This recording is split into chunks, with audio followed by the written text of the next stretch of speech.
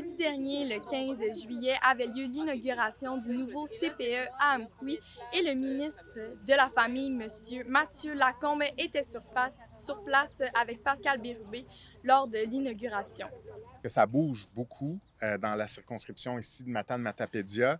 Euh, il y a beaucoup de projets, notamment celui ici euh, à Amqui, qui est un beau projet qui va venir plus que doubler le nombre de places qui sont disponibles, qui seront disponibles à Amqui. Donc, avec une nouvelle installation de 60 places, c'est une excellente nouvelle parce que d'une part, c'est un projet qui datait de 2013 euh, pour une certaine partie, et l'autre de 2019. Tout ça ensemble, ça va se concrétiser en mars 2022. Et l'autre excellente nouvelle qu'on a explorée euh, ce matin, et je suis très, très, très, très content d'entendre ça, c'est qu'il euh, y a une volonté de même pouvoir offrir certaines places temporairement plus rapidement, donc peut-être même dans les prochaines semaines, dans les prochains mois, 16 places, donc peut-être une quinzaine de places qui pourraient être offertes euh, très rapidement à la première installation dans ce qu'on appelle nos installations temporaires. Donc, on pourrait émettre les permis vraiment très, très rapidement pour que les parents aient tout de suite accès à ces places-là pour leur enfant le temps que la construction euh, se passe ici. Donc, vous comprenez là, que si vous faites le calcul,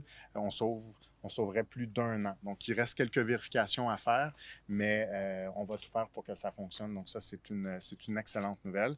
C'est des annonces majeures, euh, bien sûr, qui étaient attendues depuis 2013 dans certains cas, avec un appel d'offres pour les étudiants. Préciser qu'il y a une collaboration avec le Centre collégial matapédien, le CEMEC à Amqui, priorité aux étudiantes, aux étudiants mm-hmm. du CEMEC. Donc, une bonne nouvelle, comme on a eu à Montjoli, comme on a eu à Amqui.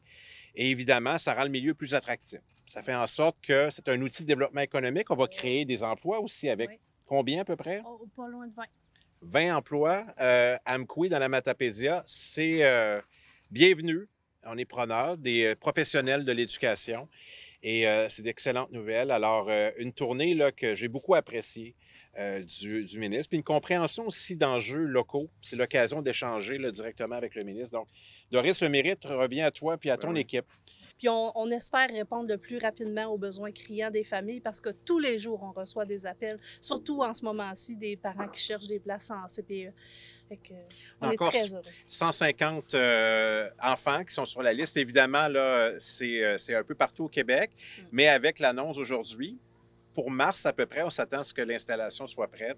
Euh, ça va enlever de la pression. Puis avec la nouvelle que le ministre vient d'évoquer, 16 places qui vont se, rendre accessibles au cours des, euh, prochaines semaines, c'est une autre excellente nouvelle pour les familles de la Matapédia. Donc, euh, des annonces comme celle-ci, on en prendrait chaque jour.